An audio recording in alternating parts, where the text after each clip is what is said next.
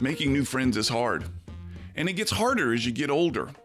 As adults, we carefully court new friends. We try to learn a bit about them prior to spending time with them.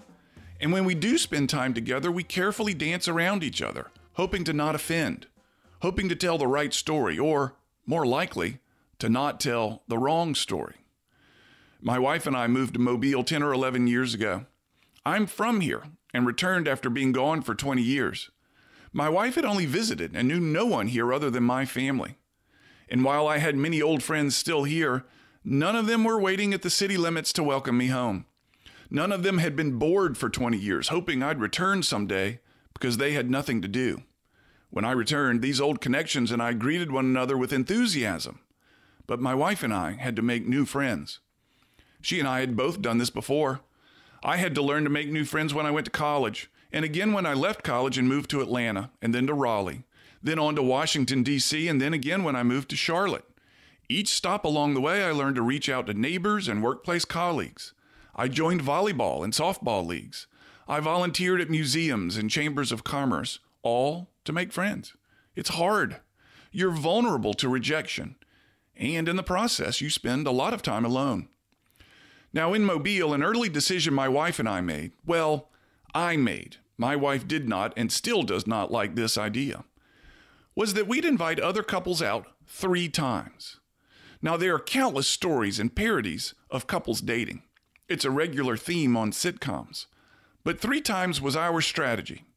If the other couple accepted all three, rejected all three, or some combination thereof, that was the end of our invitations. After that, it was over to them to reciprocate.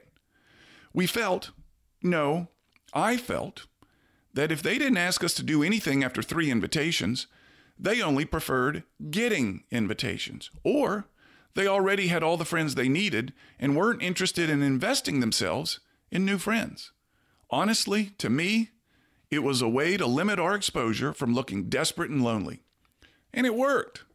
Today, we now have several groups of wonderful friends who are active, enjoy planning stuff, enjoy inviting others, and enjoy getting invited themselves.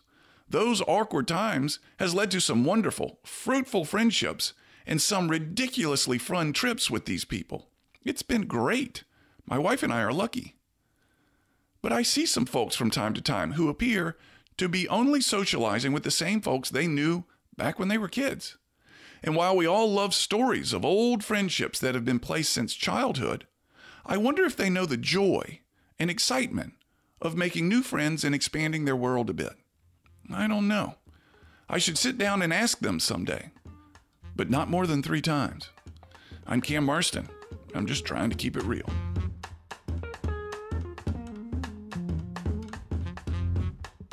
To hear more of my Keeping It Real commentaries, enter Keeping It Real with Cam Marston into your Facebook search bar or search for Keeping It Real with Cam Marston at your favorite podcast site.